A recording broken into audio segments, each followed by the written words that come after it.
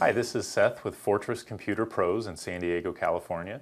Today we'll be talking about Samsung Android devices. Samsung is by far the most popular Android device manufacturer. Uh, their flagship line is the Galaxy line with the Galaxy S, S2, and S3 phones, uh, S3 being the most recent, of course.